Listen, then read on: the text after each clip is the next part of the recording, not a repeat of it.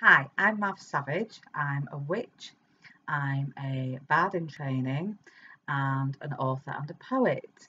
Poetry is one of my great, great loves, and in the theme for today's Pagan Federation Disabilities Team online festival for Lughnasadh, the theme is Food for the Soul, and I thought, well, what feeds my soul? Words, songs, poetry, books. So today I'm going to talk a bit about poetry. I'm going to start by uh, reading a little bit from um, my book Celtic Witchcraft, excuse me, which is a pagan portal in the Pagan Portal series from Moon Books. Um, the book is all about different ways that um, the Celts can influence your modern day paganism and magic, but this is particularly about the magic of poetry. Poetry is a love of mine, more than a hobby, more than a diversion, and more than simply stringing words together. Every year I participate in NaPoWriMo, which is the challenge to write a poem a day for a month. Each poem must be entirely new. Making this kind of commitment to yourself is very focusing, and writing poetry in this way prompts you to be aware of everything around you. Searching for inspiration is mindfulness itself, exploring how things are right now and recording them with the written word in a form that will entertain others. Poetry is not just about clever form and rhyming schemes. Poetry is about telling stories, using the rhythm of words to play your point into the reader or listener's mind. Poetry is about the musicality of language. Poetry is about emotion, love and loathing, pain and regret, joy and anticipation. Poetry is a vehicle for feelings, hopes and dreams. The Gaelic word that was used to Celtic poets was fili, which literally means one who sees. A good poet sees all and uses what they see to enchant and amuse others. I and Pangur Bán, my cat, tis a like task we are at. Hunting mice is his delight, hunting words, I sit all night. Better far than praise of men, tis to sit with book and pen, Pangur bears me no ill will, he too plies his simple skill. This extract from Pangur Pangur Bán, a poem by an anonymous Irish monk from the 9th century, likens his cat's hunt for mice to the writer's own hunt for words. The mice are elusive, but the delight in capturing them is beyond measure. And poetry is like this. The struggle to find the words that will evoke the exact emotion you are feeling is hard, it's strenuous, it's maddening but the completed poem is so pleasurable. Every moment of the struggle is a joy. Okay. I really do feel that poetry feeds my soul, and that struggle that I was talking about, that challenge as living beings, we, we all need a challenge, something to stretch yourself, something to take us out of our comfort zone, especially when I can be a bit housebound and sometimes I'm really not up to interacting with other people. I find that playing with words, it can help keep my mind active and alert. When I feel that I'm not capable of magic or ritual or meditation, writing a verse that resounds with my emotion at the time, it brings me back towards that magic that I felt was draining away. The words can be elusive, but chasing them, it's a form of exercise for the mind. Now, I'm going to read you a few of my poems now. And these first few poems, these first few poems um, are for and about the Tuatha De Danann in honour of Lugh's festival for his mother, which we are celebrating this weekend and for the next few days.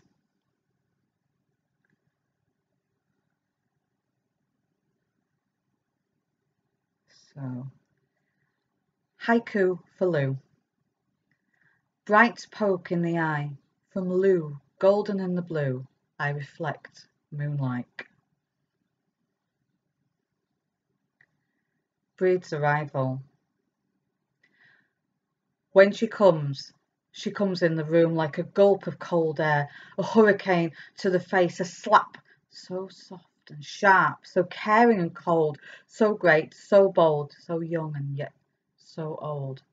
Every atom sings, this lady, this goddess, this spirit, this she from beyond the hills, she came to see what you had put out for her. Sheep's milk, oats and apples, whiskey, candles, and hope. She blasts through the door, a draught of delight in spring's awakening. We hold hands and shake as her power leaves us quaking. Motherly but not gentle, feminine and strong and wise, changing the world before our eyes. The flower opens, gasps ensue, our hands beating heat back and forth across the laden table. That was a poem written uh, just after Imbolc, the Brighid. And this next one was written quite a while ago for the Morrigan. And it's just called Red. Streaming red, cloak of hair like yarn spun wild for a coat of dreams of war and time to pass the line, the blood along like velvet wine. Lady great and fierce of heart, builds you up, then tears apart. Protect thyself, but know her if you can. Poetry is also very cathartic. Pent up emotions can be bad for us, can even lead to physical problems such as ulcers, headaches, and high blood pressure, and of course, a multitude of mental health problems. Poetry gives us a very real outlet for the words we might not be able to say out loud to someone else. It can take us on a journey of recovery or self discovery. It can be our punching bag our pillow to cry into, and our best friend when we are all alone. Letting someone else read your poetry is a great intimacy, so it can even be helpful in personal relationships or bring you closer to a family member. As an example, this next poem is a poem I wrote for a friend when he was having a particularly difficult time.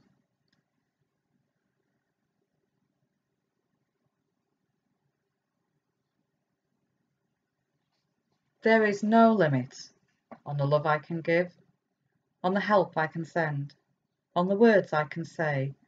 My heart may wane, but like the dark moon, it is always there, beating its energy for those that need it. So I'm tired. I'm not tired of you. So I'm beat. You did not beat me. So I'm ill. You did not infect me. I see you struggling, and I will get to my feet and stand strong so you don't have to. This is the pledge of love, the truth of friendship, the power of a bond that time and pain have never defeated. So take your time, and I will take your pain to places where you cannot feel it quite so sharply. I am the draught of cool water, I am the ray of warm sunshine, I am the hand that holds and the throw that casts away. Movement and stillness, hope and faith, strength and fragility. I am the universe and I am just one person. And as always, I'll do what I can. The other thing that feeds my soul is being out in nature, as I'm sure it does for many of us. Even just moving out into the garden if I'm not up for a long walk. At the moment, I'm suffering from SPD, so the long summer walks of previous years are a bit out of the question. So it's nice even looking out of the window, watching the birds, hearing their song. I probably write more poetry about birds and animals and the turn of the day and the turn of the season than probably anything else. Um, that's where I find my awen, the beat of my soul.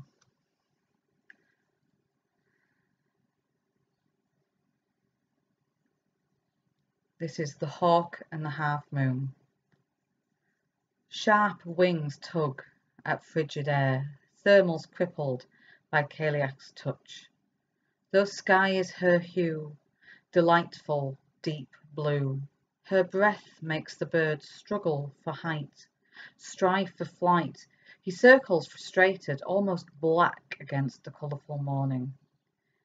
He scars the misty white face of the half moon, a cataract eye blinking behind cloud lids, tired of night, so drifting sleepily into day. Music in my ears as this tableau, hawk framed by half moon, is forever sealed by the kiss of blessed memory. staying on the bird theme, this is Lon Dubh about the blackbird. Walking with my boy, we listen to the song that has always tugged my heartstrings. Since I was as tiny as him, the evening is just over halfway gone, the sky purplish as the light wanes, and who do we hear? Dubh, messenger of the twilight, guardian at the gates. I point him out to my boy, and we watch his chest pump and his beak bob as atop the neighbour's roof he marks his spot in the world, his high point, his territory. And as the light finally wanes, the blackbird's silhouette remains on our eyes for the rest of the walk.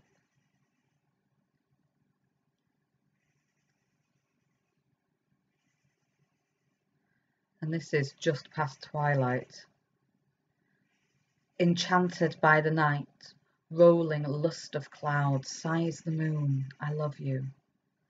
Warm summer air climbs into me, up inside me, I don't even need to breathe. The sweet violation of my lungs by bread and fumes and flowers, night blooming ecstasy.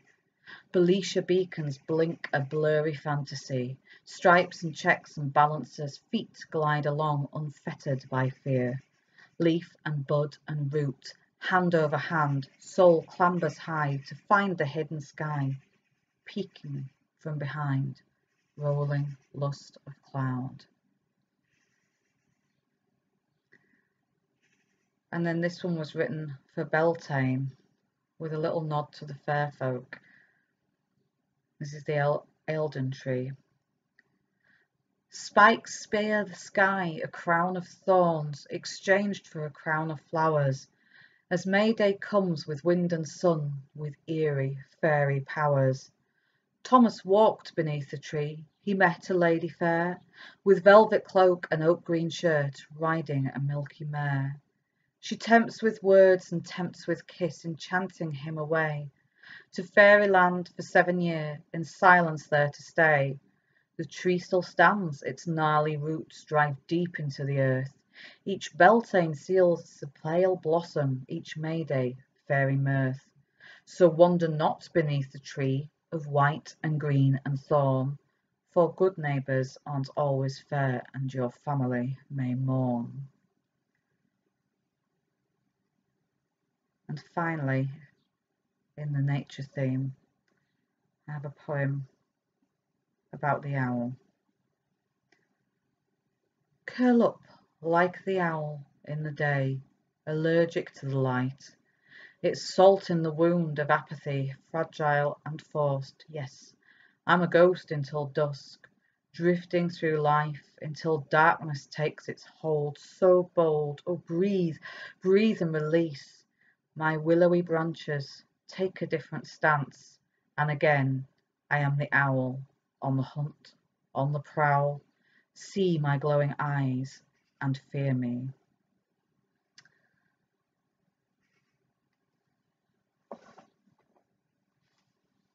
But what if you've never written before? Well, the best answer to that is to think about what you want to write about and to read some poetry on that subject. Just Google poems about whatever it may be and read as many as you can get your hands on. Record the names of poets that inspire you. Examine how the poet strings words together. Do they use rhyme? Is it just a stream of consciousness? Make notes, mental or physical, and try to emulate the style of a writer that resonates with you. Remember, no one is marking you on this. Your poetry is magic for you and you alone. Try writing down a list of words that pop up while you are dwelling on your chosen subject. For bees, you might have honey, flowers, pollen, work, joy, summer. Form a sentence around each of these words. Now, put those sentences into an order that pleases you. Try reading it aloud. Maybe even record it and play it back to yourself. How, how does it sound? Change it until you're happy with it. Don't be afraid to edit ruthlessly, but also don't be afraid to think, this is good enough, and leave it as it is. When you have finished your poem, keep it somewhere safe. And if you are able and confident enough, keep it on show somewhere so you can be proud of your work. You have just externalized some of your feelings and used them to create something new in this world. Feel the confidence that washes through you. Feel that any negative emotions are diminished by this process and that positive ones are lifted and highlighted by the power of your words. Poetry is a magic that will never end. As long as we have words, we will weave them and give them to each other. I found that um, if you struggle to be abstract or to put your feelings into words, which is not always a natural thing for all of us to do, what you can do instead is just try telling a story. We can all tell stories. We all do it every time we've not seen a friend for ages and we've got something to tell them, or when we've got news to pass on to family, blood or otherwise. And you don't need to worry about the rhyme or the meter or the structure. You just need to tell your story, you know, from start to finish and let the words take over. So the last poem I'm going to read to you is a little bit longer and it is a story poem. And it's about the wind, about fear, about hope, about the gods, and about a yearning for magic. So this is The Wind Came at Night. In the days of chilling blaze, springtime sun as winter fades, dazzling spears and green grass blades, the gale the only blight. Driving out to picnics gay, February turning into May, hearts and smiles throughout the day, but the wind came at night. Batten hatch and throw the catch, draw the curtains and the latch, find the candle, light a match, glow ghostly and white. Lights to ward off what's outside, whatever feral monsters ride abroad, their entrance is denied, though the wind comes at night. I saw a face outside my place, swiftly passed as in a race. I blinked and there was not a trace. I shivered with the fright. I ran upstairs to check again. Peering through the glass in vain, the window howled as if in pain from the wind in the night. Clutch the blade and don't be swayed. Seek the spirit, seek the shade. Call the cook and tell the maid we search until the light. Laughter in the face of fear, no bravery but a butt of beer. The wetness on my face a tear from the wind in the night. I grabbed my hat and stroked the cat. I peered between the shivering slats. I shrugged my coat on, faced the mat. I now would find this white for who was in this deathly storm? What poor fool trapped and all alone? Or was it evil upon my lawn when the wind came at night? Slam the door and stand before the howling horrors mealy more. Step forward, though the soul abhors this strange and streaming sight. Trees are bent and strain to rise back to the black and bubbling skies. Clouds thick and crying, flying eyes borne on the wind at night. The muddy grass was slippy glass, the rain like ice, cold, hard and fast. I braced against it, held the mast, pressed on quick as I might. To save a soul or fight a ghost, I knew not what I feared the most, so wide-eyed I became engrossed in the wind in the night. Turn around and back you bound, running from the brutal sound, cacophony of sky meets ground, the planet bursts alight. Or stand and see the riders' glee, the horses stamping fretfully, red eyes, black coats, white spittle, see the wind come in the night. I didn't flee, I had to see what creatures stomped and stared at me. I turned and riders, one, two, three, no reins, no bit to bite. Recognition jarred my heart, my lord, my earth, my burning hearth. My words, though, they were ripped apart by the wind in the night. See the fire, see the spark, the star, the candle in the dark, the life, the sound to which we hark, the blood, the beat, the light, the terrifying truth of life, the endless struggle, burning strife, turning key and turning knife, the wind that comes at night. It was no waif I had to save, nor any ghostly haunting wraith I had spied from my house so safe, so warm and kind and light. Cernunnos, I cried out, Herne, take me with you, let me learn. They laughed, and all my visions burned in the wind that came at night. North or south or east or west, I know not which gust is the best. I only know I need to rest. I have no will to fight. Though each day dawns well and morning swells with promise fierce and true, once evening creeps, I cling to you, the wind it comes at night. Thank you very much. I hope you've enjoyed the poems and uh, hope it might inspire you to uh, a little bit of your own wordsmithing. Have a wonderful rest of the online festival and a very, very merry Lughnasadh. Sláinte.